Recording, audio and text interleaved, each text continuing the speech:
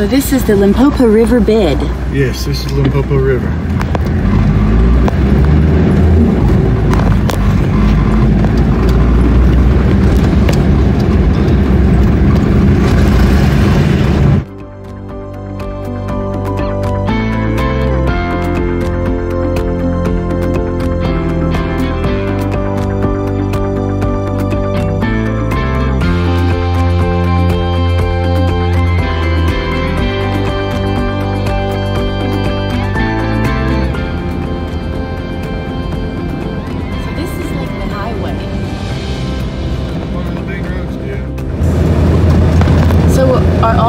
Roads in Botswana like this? Yep. They're all pretty much dirt roads.